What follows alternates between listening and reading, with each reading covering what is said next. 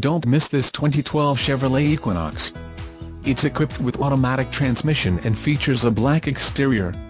With zero miles, you'll want to take this car home. Make a great choice today. Contact us and see this car firsthand.